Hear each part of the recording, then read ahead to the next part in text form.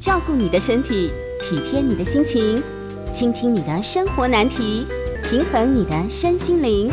欢迎收听《全民安扣吕秋远时间。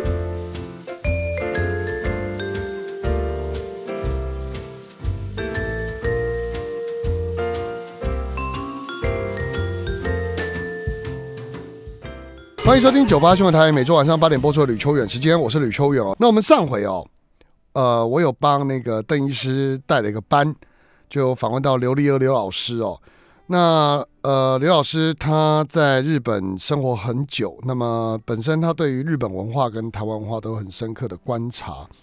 那我们今天呢，呃，真的是很惊喜，我们竟然能够邀请到呃刘老师的先生哦，那么就是。呃，我们讲说他在日本是非常有名的骑士，棋就是下棋哦。那棋士在日本的地位是相当高的，因为其实，在日本能够就是围棋能够呃下得好是一件很不简单的事情。那更何况说是在日本能够呃这么有名哦，是非常不容易。那我们邀请到王明婉王老师，王老师你好，我是王明婉，各位听众好，是主持主持人好，是。王老师，你号称为什么被号称是神童哦？其中一个原因，当然是您十三岁的时候，十三岁的时候你就接受沈君山沈教授是的挑战哦。那最后面你还赢了呃这个沈老师沈博士哦。那其实老师，你之前你是小时候就很喜欢围棋，是不是？哎，我是四岁学棋的。那在那个时代，诶，绝大多数的小孩子都是爸爸喜欢下棋，教小孩子下的。嗯，是。那老师你喜欢吗？你四岁的时候下棋你喜欢吗？哎，我非常不喜欢哦。对嘛？我想说四岁应该喜欢玩别的，怎么会喜欢？对，就是这样围棋。那怎么开始喜欢上这个东西？诶，其实到我三十几岁的时候都不喜欢哈。然后就算到现在，我也有常常会有想要离开这个围棋的冲动。为什么？嗯，因为就是还是呃从小养成的习惯，因为花这个要呃就是磨练围棋、进修围棋需要花很多的时间，所以哎我在这个小学就。几乎没有玩到就对了，是一下课就要回家，然后在那边就要摆棋谱，然后也耳朵听到自己的同伴同学在那边嘻嘻哈哈的笑声，哈，呃，就是还蛮不是滋味的啊。这是当然，所以四五岁的时候，老师那时候知道你在下什么吗？诶，不知道怎么告诉你？诶，所以我不太记得我学棋的时候。那我爸爸告诉我是四岁，甚至他说三岁就让我玩棋子了，这样子。是，所以当时你不知道你在干嘛。那一直到十三岁那一年哦，是那一场那一场那一场呃比赛蛮轰动的。是，当时老师您在做这个事情的时候。你你在心里想的是什么？你那时候心路历程想的是？哎，那个时候什么都没有想啊！哎，那个，哎，所谓这个博士神童的棋盘大赛哈，对，那个是沈博士沈君山博士，他是为了推广围棋，所以哎，就想出来一个点子就对了。那那个时候为什么选上我呢？因为哎，在跟我同辈的下棋的小孩子里面，我是最晚出国的。那跟我这个差不多同样年龄的小孩都出国了，台湾只剩下我，所以他就诶跟我就办一个比赛这样子。呃，是。那当时那个比赛，老师你会紧张吗？诶，完全没有紧张，完全完全没有紧张，因为我也没什么负担。那我我当然就反正。围棋就是这样子，你下了就想赢啊！哈，那我是全力以赴。那我跟沈博士就下到第七盘了哈。那第七盘我赢了，这样子啊哈。那我是呃最近才就呃回想这个过程啊，忽然发现一一发现一件事情啊。是这个第七盘当然是沈博士让我赢的，因为这个老师那么谦虚。哎，因为这样子的结局就是让这个会让整个这个比赛最完美，所以是。但是，但是相对来讲，其实我不觉得老师，呃，沈沈博士当时有真的说让你，因为围棋这种让不让，应该都看得出来啦。呃，可是我想他是很，你事后有没有想过？哎，我是我事后，我当然觉得看那一盘棋的时候，在就是说到很很久以以来，我都一直觉得是我的实力哈。是，不过到我现在，我呃接近了当时的这个沈博士的年纪，我呃，要是我自己是呃，就是如果您是当下的他，你也会。就是可能就我不让一想赢，两手。哎，因为做这个活动的目的就是为了要推广围棋，呃是是，对，这个如果说对不是赢了就不好玩。对，如果让您这边的赢的话，可是我觉得围棋这种东西，就像您刚刚讲，下了就想赢，是是是，要放放任自己输掉，应是该也不容易啦。那可是为了推广围棋这个大我哈，可能我觉得是牺牲小我是牺牲了。呃 不会不会，那老师后来赢了以后，您在呃国中、高中都有持续在学，呃，是因为这个十三岁就是我出国前了，是。呃，我就呃就在呃十四岁前我就去日本，呃，是就开始就参加这个职业，那那边还有在念书，呃，对，到那边是就念华侨学校了，呃、是。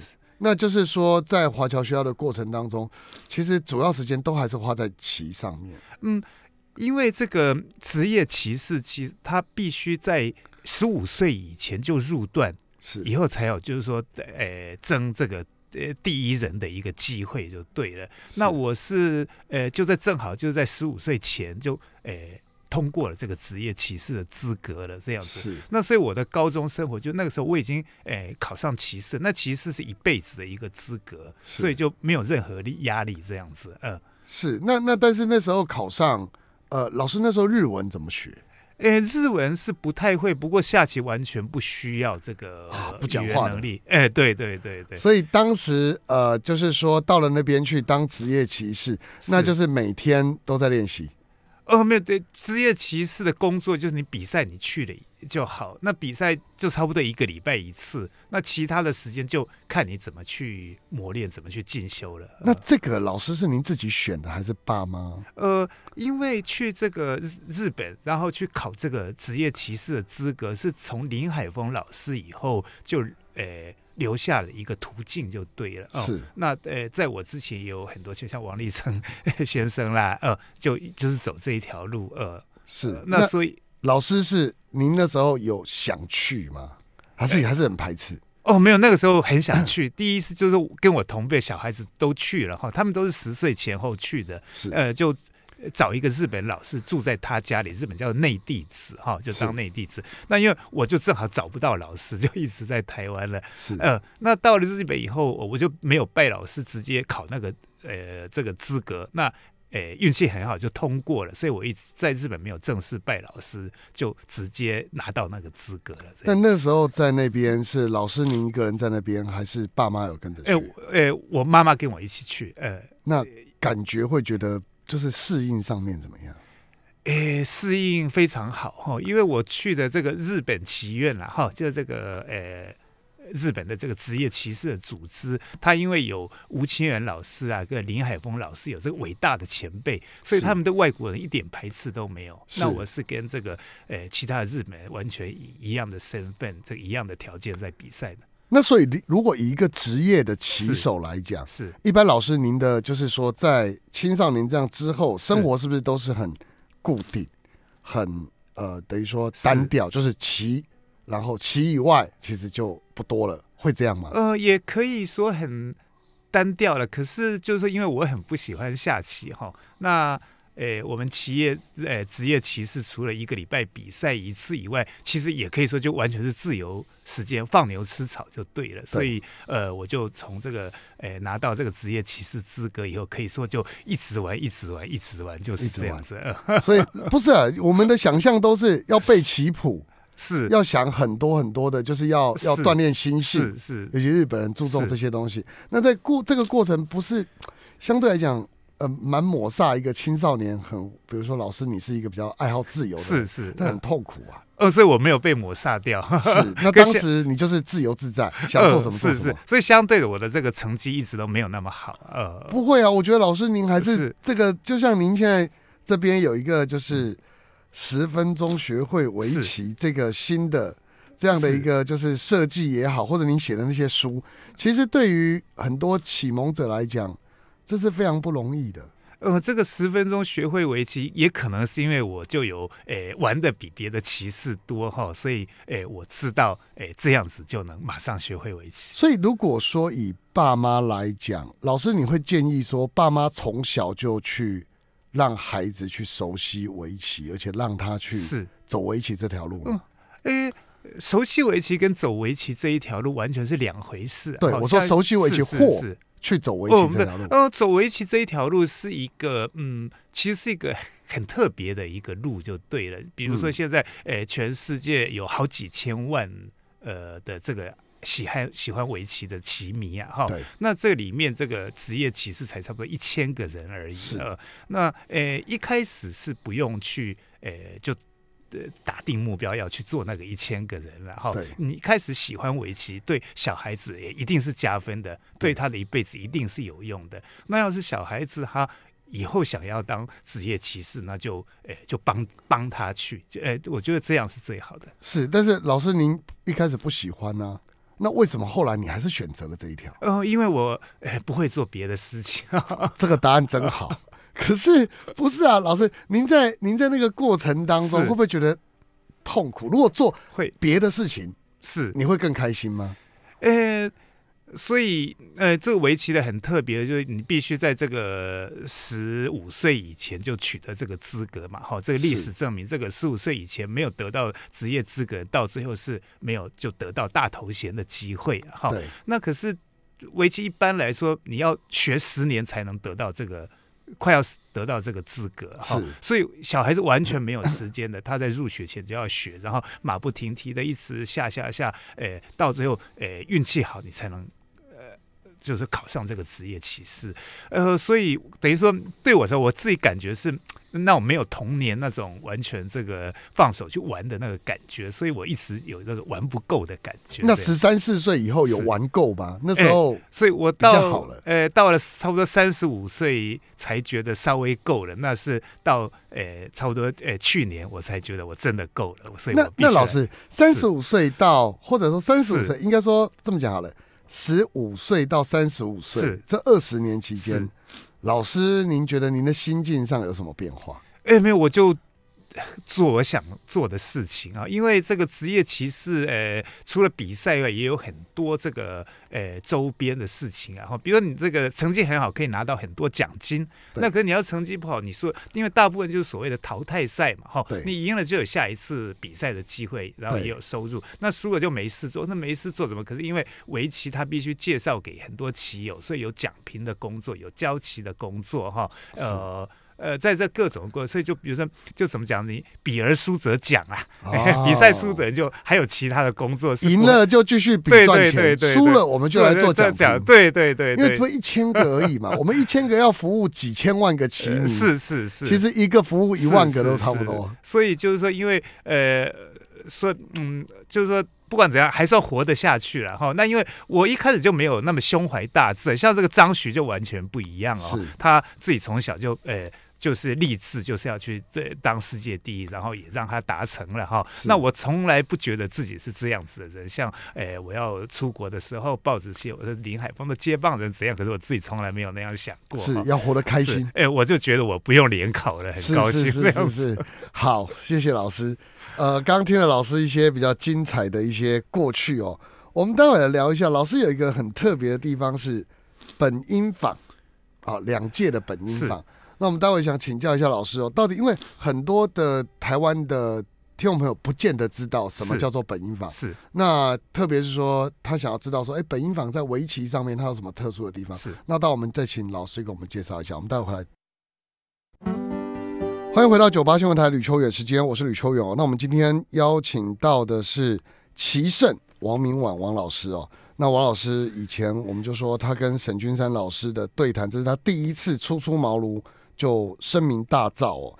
那么后来老师到了日本去学棋，那我们刚刚聊一下老师在日本的一些状况哦。那我想请教老师哦，我我在聊本音坊之前，我想先请教老师的一点是。很多人都认为围棋必须要心静，哎，必须心性浮躁的人不适合学围棋。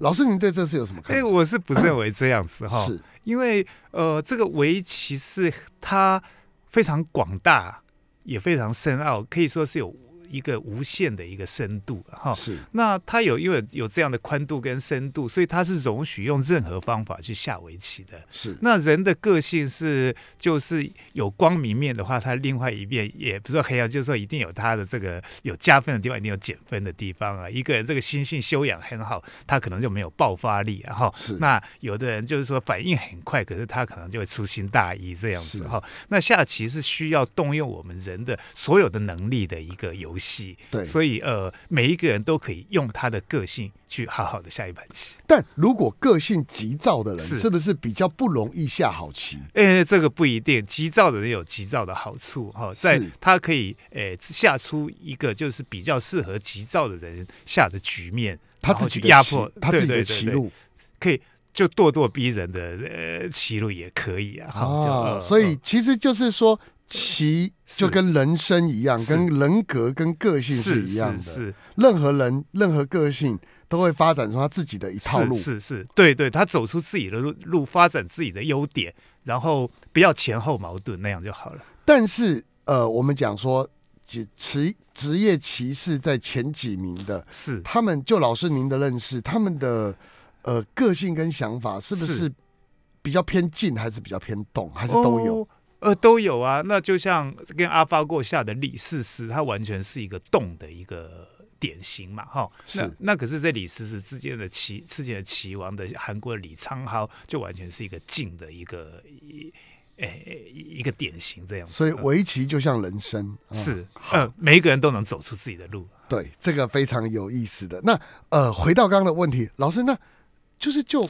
本音坊这样一个头衔，是呃，就是说，因为老师您拿过两届的本音坊，是，那这个到底是对台湾听众朋友来讲可能比较陌生，那到底大概是什么？诶、本音坊这个称号哈，是它诶、是在日本最有历史的称号。那一直长久以来，诶、很大很长的一段时间，这个北英房是围棋的代名词了哈。那为什么这样？这要从这个德川家康说起啊，哈，因为德川家康他统一天下了以后，天下太平了嘛，哈，嗯。所以他就诶、就是说认定了四个门派，是。呃，让那四个门派，呃之中的，呃第一人围棋，呃是围棋的四个门派哈，嗯。然后那四个门派门派第一人选出一个第一人，叫做名人，嗯。哎、作为这个围棋的第一人这样子是，那有四个门派才能互相角逐嘛，哈。是那四个门派里面的有一个就叫本因坊，这样它的名字叫本因坊所以就像呃就像少林派的一这种、哦这种意思就是对了，是。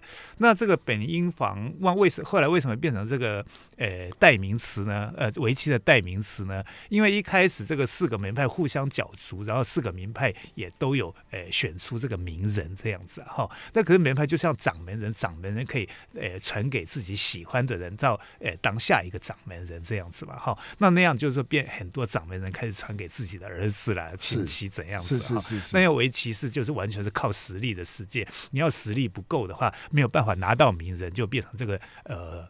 就是说，都变成别的门派做大了这样子。那在这个里面，只有北英房这个门派，它就是，哎哎，就是传贤不哎对传子对对对，传贤不传子，它啊贯彻了这个原则。所以到，呃，这个江户的后期，当名人的全部都是北英坊这个门派，所以就变成呃，好像北英坊就变成围棋的代名词。那拿嗯这个头衔的意义在哪里？是，呃，那这个头衔的意义是后来这个也到了这个战后的北英坊，因为这个养这个四个门派就是那个所谓幕府嘛，哈，那幕府就被这个革新呃维新革掉了，呃，所以这个呃。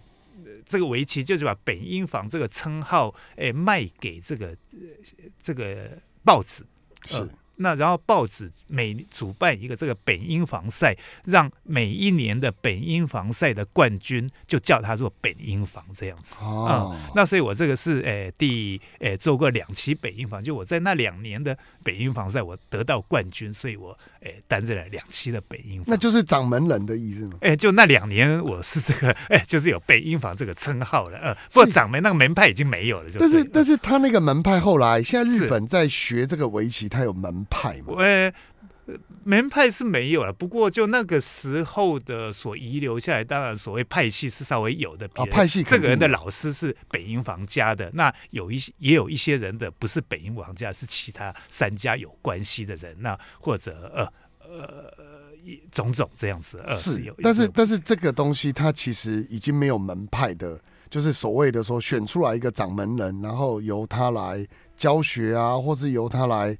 处理这些组织已经没有了，就是了。呃，是比较没有了，因为这个所谓头衔的比赛不止北英房，也有其他的大比赛。然后，那北英房是所谓三大比赛之一，那其他的，诶，就是所谓头衔是名人，然后棋圣哈，名人是朝日新闻主办的，棋圣是读卖新闻主办的。那跟这个北英房这个叫三大头衔这样子。那啊，那也不是得到三大头衔就怎样子，就是奖金多一点而已。没有，那这个记录啊，人生毕竟有。这样的一个经验也是非常好的，那就变成说，这三大头衔，其实大部分日本人对这三大头衔会很热衷吗？还是他们会觉得说，要是棋迷，就他们观看这个三大头衔是他们的一个很大的乐趣，呃，是，所以这个三大头衔到最后，他们就有一个挑战赛，就是诶，就是预选出来的第一名跟前一年的这个头。企业人进行最后一场挑战赛这样子，那这个挑战赛是一盘棋要下两天的，两天是。那老师您最长一次大概是下多久？哦，就是这个下两哎两天。那两天老师不用睡觉吗？呃，两天呃第一天跟第二天之间是有休息时间的，让你睡觉的。那他会安排吃饭，然后安排睡觉都正常，只是时间到你就要回来继续下。嗯，对。那他们这个大头衔赛都是不在这个东是到。呃，日本的各地的一边是就提供一个很好的对局环境，一边是做这个围棋跟这个报纸的宣传，这样。对，但最后一场，老师您刚刚讲那一场要两天吗？呃，每一场都是两天，就打七场，那每一场都是两天了。那不过是四胜制，要是有一边四胜就完了，这样。是，那所以在这个过程当中，其实呃，老师觉得说这样的一个比赛，对于呃您个人来讲，除了奖金之外，有没有代表一个什么样的意义？哦，这个到这个，因为我们呃，比如说在打这个挑战，要争这个挑战权的时候，大家就知道是这么一回事。所以呃，不过就是对所有的骑士，到最后去呃下这个两天的比赛，是所有的骑士的梦想然后。那能去下这个呃比赛的骑士，一年最多也才六个就对了。所以呃，能去呃去比赛，能去比赛是个光荣，哎，是很光荣，而且是就是很好的经验啊。是那这样的话。其实拿到这个头衔，对于老师，比如说你在教学上，或是在所谓的我们讲说其他的工作上，是。有有更多的便利性吗？嗯，是有非常大的这个利益啊，就是哎，有三拿过三大头衔，其实跟没拿过三大头衔的骑士怎么讲，就是说他地位行情都不一样。然后那不过哎，基本上就是说以比赛为生的骑士是不交旗的，他是可以说交旗收入是零就对了哈。是，所以呃，在。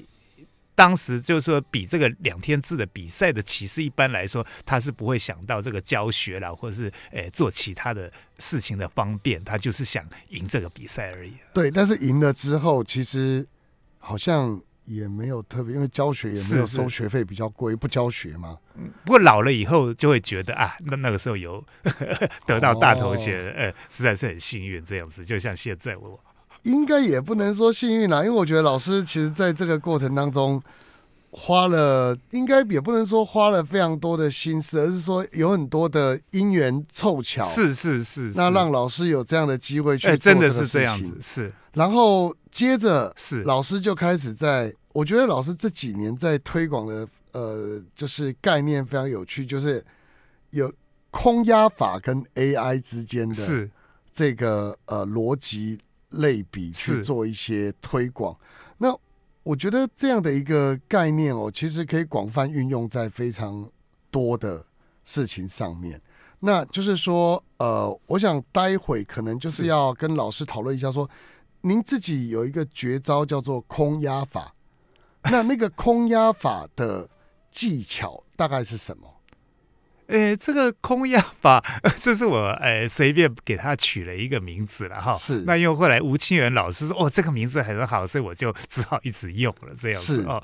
那呃，就是最简单的说，他是在你搞不懂的时候，用一个概率的想法去诶做下一早期的参考。这是数学吗？呃，这个是因为这个是从来没有过的想法，因为围棋都被人。被认为是必必须算，然后好棋跟坏棋是很分明的嘛，哈。然后当你下一早棋要怎么呢？你当然是要把它算清楚这样子。所以比如说你像下这一早棋是好棋的概率是六十呃 percent 那样子的，是没有这样子的想法的啦，哈。那这个我要怎么判断它是六十 percent？所以这个就是也是就是一种判断就对了。呃是，那用这种空压法呃的概念跟我们讲说人工智慧是这两个去做比较，是老师后来在工作上就是不断的去操操作之后。才想到的一些概念哦，没没有不断的操作，因为呃，就在这个差不多二零一零年的时候，那个时候的这个呃电脑围棋正好就是有用这个概率的处理去呃得出下一早棋哈。那因为我觉得呃要是用这个方法的话，我的这个呃经验跟这个知识是呃可以派上用场的，所以我就加入了这个研究这样子。是因为老师也是国际 AI 开发的顾问嘛？嗯，对，所以待会我们来聊一下哦，就是老师在这个呃，就是说 AI 人工智慧上面有一个什么样的一个看法哦？那我们待会见。欢迎回到九八新闻台吕秋远时间，我是吕秋远哦。那我们今天邀请到王明婉王老师哦。那王老师在日本呃曾经拿过两次的本营坊头衔哦。我们刚才大概简单介绍一下本营坊。那我们在刚休息的期间哦，就是我跟老师大概聊了一下有关于人生跟围棋的关系哦。那事实上来说，就是嗯，我我刚才跟老师讨论了，就是说，呃，因为老师很谦虚，他都会说这个东西就是一种运气哦，就是总是一百二十次机会总会拿到一次。那我是跟老师讲说，不会啦，那个有些人你说录取率百分之三，永远就是那三趴的人拿九十七趴都是去陪榜的。所以我觉得，但老师提出一个。很有趣的概念，他的意思是说，其实呃，围棋最迷人的地方就是他想不到的地方很多，所以老师，您觉得这个运气的成分很真的很高吗？嗯，就从这个人生跟围棋谈起哈，他们很我觉得很像的地方，就总是有你料想不到的事情会发生哈。是，那就像一个棋局。你总是料想不到它的变化的哈。那我们每一个职业棋士，就是下棋，就是其实就是暗中摸索了，然后如履如履薄冰这样子一步一步往前踏，然后前面是黑暗一片就对了哈。那我们就这样一直摸摸摸摸到最后，我都发现哦，原来这里就是。赢的地方，这样子就就忽然才知道自己赢了，这样子。那预知别人的想法，就是说，我知道你这个人的个性，比如说，我知道老师是。呃，就是你可能像孙悟空一样，是。啊，就 这种这种棋，就是个性是。这种性格，这种风格。那我在下棋的时候，我其实是不是可以趁，比如说你个性比较急躁，那我就以慢打快，或者是我知道你个性比较沉稳。那我可能就用什么激怒你？呃，这种会不会有这样的一个情形？呃，这个真的就像呃职业歧视百百种哈，那可能有这种歧视啊哈。可是据我知道，没有人这种事情能做得很好。那我自己是完全不管对手，你不管他是谁，哎，我完全不管对手，你用你自己的方法，哎，对对，我只管我这自己的事情就对，我只管我自己下出，哎，我自己哎想下的下一步，那以后就让对方去去。呃，去想了这样子哈，那这个跟空压法，就是你一开始怎么会想出这个所谓的空压法这样的一个？所以这个跟空压法也有一点这个关联啦，因为空压法就是说你完全靠自己的判断，在这个局面找出你以这个空压法的这个想法来，你应该下的一招。是，那其他就都不用去管它，这个就是控压法。是，那这是在您大概几岁的时候？这个就超我在三十多一点的时候开始觉得，因为那个时候我觉得我这个呃骑士人生是跟大头衔也是无缘的啦哈。然后可是我也一辈子也必须做这个工作下去，因为日本的骑士是没有退休制度的哈。那我要是每一盘棋都下的很痛苦的话，就这个人生就不太值得。那老师你还是觉得痛苦哦？哎，这个当然是因为呃，你想要赢，就是因为对方也想赢，所以你就要。做一些很克制自己啦，或者是就是跟人性相反相反的事情嘛，哈。是。那可是你不管你多努力，到最后还是呃赢不了的话，那倒不如放开放手，就是做自己喜欢的事情这样子。是，那那这个跟人生哲学有是是啊那可是就是说非常偶然的，就是我在开始做这个空压法，空压法就你只管自己哈，那用自己的道理去去下。诶，下一招。那这个做法，我开始以后，诶，就是非常幸运的，就结果还不错。那后来有好几年，就运气来了，就让我得到大头衔这样子。是，那老师，您后来觉得这个空压法跟你自己后来在当电脑这个 AI 顾问的是时候，是是。有什么样的关联吗？嗯，所以一开始还是就是，呃，这个是关键，就是概率就对了。因为我，呃，有稍微用概率的方法去做一个思考的一个参考哈。那这个参考，我觉得也，值得让这个城市，呃，去灌灌到城市里面，提高它的骑力这样子。那不过从现在看来，这个是是不是真的一个很好的想法，或者真能不能做得到，这个还不知道，哎，很难讲了。因为就是 AI 这个 AlphaGo，它做到了比我这个目标诶高得多的一个结果，它做出来了，所以诶我的这个想法就我想可能是就变成是永远的谜了这样子。但您想哦，电脑是跟人脑在下围棋的时候，是呃，有还是有人脑赢过。那这个这种情况，就是说，其实如果真的以下围棋来讲，我们是不是真的下不过 AI？呃，就是现在的 AI 是人是一定下不过的，呃，这个已经毋庸置疑了，就对了。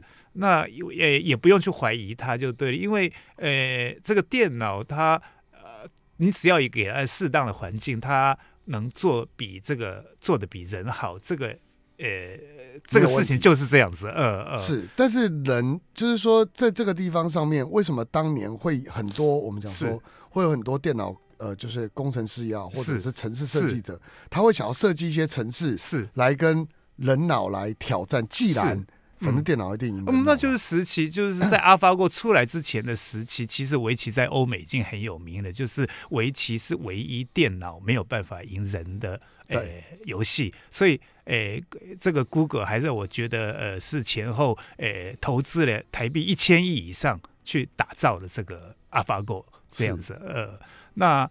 呃，有这个整个目的有让 AlphaGo 达成了哈，他们就呃创造出一个很有通用性的一个城市，呃，在这个围棋是它是彻底，其实说打败是，呃，也不用用这种眼光去看它，它能做出呃，就是比人呃下的好的一个 AI 这样子。是，但是对于比人下的好这件事情，在呃现实生活当中，它的用处是什么？总不能说我只是要设计一套城市，嗯，来把人类的围棋的能力否定掉，说哎呀你就比电脑差，不会只有这样。他们当时 AlphaGo 那个设计是赢了以后，是。你下一步是什么？哎，AlphaGo 它一开始就完全不是这个目的，所以 AlphaGo 设计这个呃，哎，就是谷谷歌，也就是 DeepMind 这个公司哈，就是哎打造这个 AlphaGo，它的最大的那个 呃，就是原则就是要有通用性。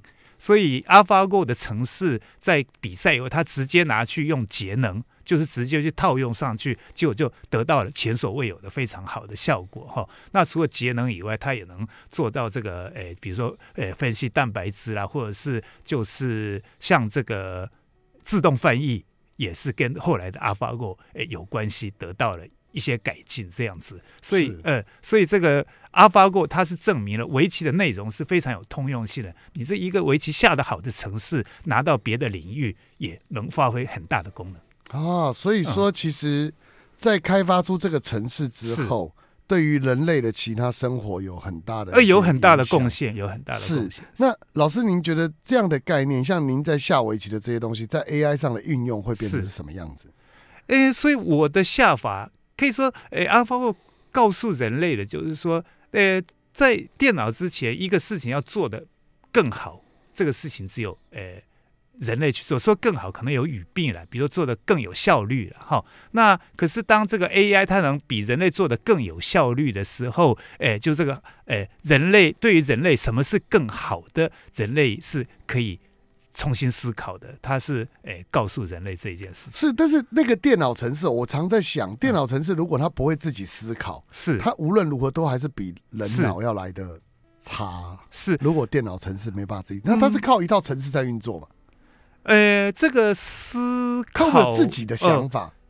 我们讲所谓，所以思考是一个蛮玄的事情哈。这至今所谓思考是就是一个人类的一个，就是诶，如何把一件事情做得更好、更有效率的一个方法。呃，可以说是这样子。可是 AI 它是用一个完全不一样的一个诶过程来把一件事情做得更好哈。那是。从用以至今的这个标准，可能这不是思考就对了，嗯，可是他不经过思考，他就可以把一件事情做得很好。这样。但我们人类哦，比如说老师，您您跟电脑有下过棋吗？嗯，当然有，因为现呃是对嘛？您跟电脑下棋的时候，他您走这一步，是他如何能够根据你这一步去预测到你后面可能下了十步？呃，围棋是完 其实完全不用预测的哈，他只要把现况这个局面不要。弄成不利就好了，嗯，然后慢慢把这个有利的程度扩大，那你就死定了，就是这样。但这样不用预测吗？嗯，他不用预测，呃，所以现在的围棋 AI 它厉害的地方是什么？它看到一个局面，它可以判断出这个局面的胜率是差不多多少这样子。是，那判断出局面胜率多少之后，那个是概率问题吗？呃，可是他用这个基于这个胜率的这个判断去做以后的演算，完全依据这个胜率去这个演算，他就可以演算出，诶，就是赢的机会更多的这个呃下法。我了解，但是老师，如果以您来讲，你现在看到围棋他这样下，电脑这样下，是你就出乎意料。你就故意不按照 正常的逻辑下去，他会不会整个乱？那他那他很高兴，因为你的胜率就降低而已。为什么？呃，因为我不按照，我不爱牌理出牌。是，你按牌理出牌，你是电脑，你又不是人脑，你会乱掉啊。呃，我故意捣乱你。围棋是变化非常非常多的一个这个游戏啊，哈，所以要下的好是不需要计算，其实也是不能计算的，而是要这个保持这个局面的一个优势。这个变数太多。呃，它不，所以它变数可以把它全部吸收掉，因为变数就表示有很多缓转的余地，是对，所以它只要有缓转的余地，它不一定要针对你的哪一个攻击手段做出对策。是，嗯，你不管怎么攻击，只要它立于这个优势位的地方，你所有的攻击它它可以找到一个反转的空间，就把你化解掉，这样子。所以它是一个，就是说，呃，攻击防御的概念，我只要维持我的优势就好。呃，攻击啦，防御这种概念都是人下棋所需要的概概念。那个，呃，这个这个 AI 下棋完全是跟人是不一样的概念，哎。不要说攻击防御，比如说，哎，人一开始你可能听过围棋就是围地多的人赢这样子哈。可是像 AI 它没有围地这个概念，没有，真的没有。所以你说地是什么？它呃，它是呃不理你的这样子。哎，这个真是困难的概念。好，那么其实我觉得从跟老师的对话里面体验出非常多的人生道理哦。那我们待会回来，我们再跟老师聊一下，就是其实。就是就老师现在在推广的一些概念哦，那么特别是像老师有一个，我刚刚讲十分钟学会围棋，我觉得我大概一个小时也学不会哦，但是我待会再来请教一下老师，我们待会见。欢迎回到九八新闻台吕秋远时间，我是吕秋远哦。那我们今天访问到的是王明婉王老师，那王老师呢，他在呃就是围棋上面哦，我们常讲就是。呃，从小就有天，我觉得从小就有天分了。但老师都一直很谦虚，他说他不喜欢围棋，但围棋却下的特别好。刚在呃休息时间的时候，我跟就我们刚不是讲吗？有一套叫做。用纯棋十分钟学会围棋，那我想请教老师，纯棋跟围棋有什么不一样？单纯的纯，哎，纯棋就是围棋哈。那可是为什么另外取一个名字叫做纯棋呢？因为现在的围棋，大家到最后这个算分计算的方法，哎，让人家不容易懂。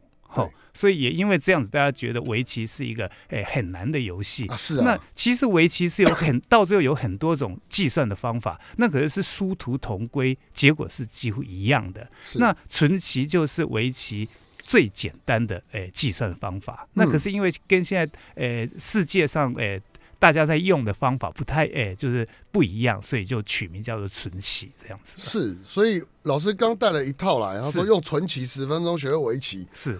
老师的教学太厉害了，所以我一分钟就知道怎么得分，最基本的我已经知道了啊。对，呃，就好像已经在一分钟已经完全这个理解这个围没有，棋了哈。那那完全那呃，那我很想说，这个就好像实在是太天才，可是不是哈。我这个十分钟学会围棋，其实就是这样面对面的话，十分钟是包括你学了这个，知道这个规则以后下一盘棋的十分钟，加起来十分钟。是嗯所以，呃，其实每一个人都已经会下棋了，十分钟是让你发现自己会下棋的时间。我跟你讲，这个老师像刚我们刚刚老师也在讲，他年轻的时候也是很会打麻将的，哦，也很厉害。那这个部分呢，其实我觉得那个东西都是一个脑部高度的一种理解跟运动。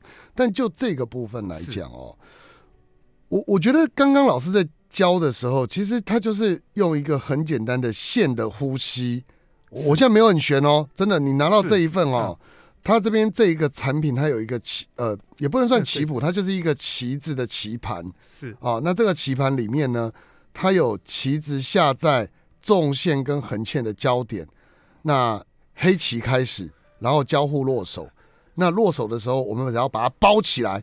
就老师就简单的概念就是，一个棋子是一分。如果我把对方的用线把对方棋子围起来，围起来之后，就可以把那个被我们围起来的棋子拿起来。拿起来之后呢，我们的棋子留着，它就没分。所以最后面我们算得失分，是，就知道谁赢谁输。就是棋盘上面的棋子一个一分，多的人赢，就是这样子。这就是是纯棋。呃，也是围棋，呃，对，但是围棋应该比这个复杂吧？嗯，围棋就是，呃，这个跟围棋完全是一样的东西，技术也是一样，所以从纯棋学一直下纯棋也能当世界冠军哈。那纯棋为什么哎容易学呢？就是他用一个比较小的棋盘哈，呃，像阿巴 g 下的是呃纵横各十九路，有十九条线的棋盘。是那纯棋是从呃七路棋盘，就是纵横各七路开始哈。那那样因为棋子是下在焦点，就有四十九个点可以下这样子。可是虽然这样也是蛮难的、哦。这一盘下完会多久？是呃，这个就几分钟，几分钟就下完49了，呃几分钟就是下完是是是，那你差不多放二十次就呃下完了。所以这个还蛮适合是我们家里面，就是其实大家如果练习可以玩。所以这个，呃，我我在去年差不多一年已经教了六千个人，呃，会会下棋了哈。不管就是真的三岁的小孩到，诶，九十几岁的老人家，呃，都能在，呃，就一堂课里面，呃。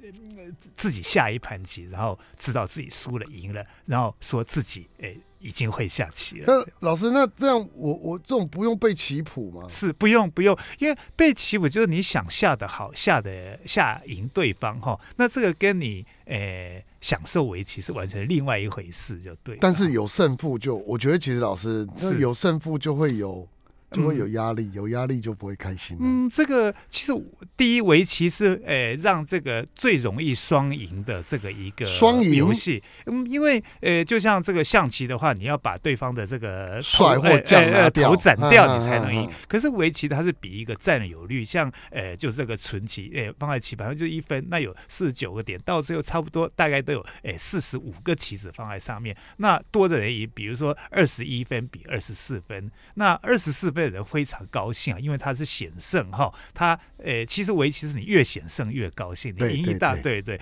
那输的人他也有二十一分跟二十四分，其实差不了多少哈。那到到最后虽然会有会有一个胜负，可是这个胜负就是让你享受跟对方拥有一个快乐的时间跟一个诶、很好的过程的一个机制而已。所以还是会聊天。嗯，对对，就是用，所以围棋的有一个别名叫做手谈哈，就是用手来聊天的。对，但是不会用不会用嘴巴来聊天。呃，其实呃，这也不一定，这个小说话，因为一边下棋一边说一些话，就是说呃助兴啦，或者是老师老师搅乱对方对，可是可是你们在比赛不会吧？哎，比赛是不会的，比赛当然不说话的啊 比赛当然是比赛，但是职业的话，不过业余的话，有时候说说话，那我是觉得也没关系啦。对啊嗯，所以这样的一个这样的一个游戏哦，其实老师又觉得蛮适合所有人。是真的是老少咸宜，而且存奇最好的就是呃学了又马上可以教别人哈，像我在日本，呃，就去小学校教了，呃，教大家，那教会了，过了几天，那些小学生就到日照中心去教老人家，